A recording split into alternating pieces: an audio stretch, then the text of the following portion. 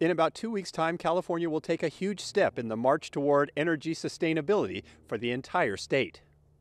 After years of offering financial incentives to entice homeowners to choose solar, on January 1st, new state building codes go into effect that would require any new home constructed in the state to include solar collection panels.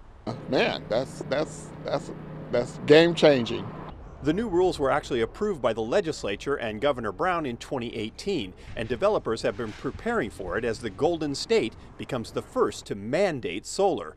At Sun First, a solar dealer in San Rafael, energy analyst Win Hogue says as solar rebates begin to diminish, the new rules will carry the industry forward.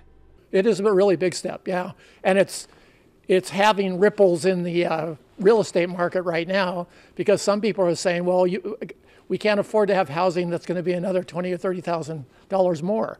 But the fact is, it pays for itself. That's true, but only because the technology has been heavily subsidized by the state, from purchase rebates to net metering rules that require electric utilities to purchase excess power at a premium rate. But at UC Berkeley's Haas Energy Institute, Severin Borenstein says rooftop solar is less efficient and vastly more expensive than capturing energy at large off-site solar farms.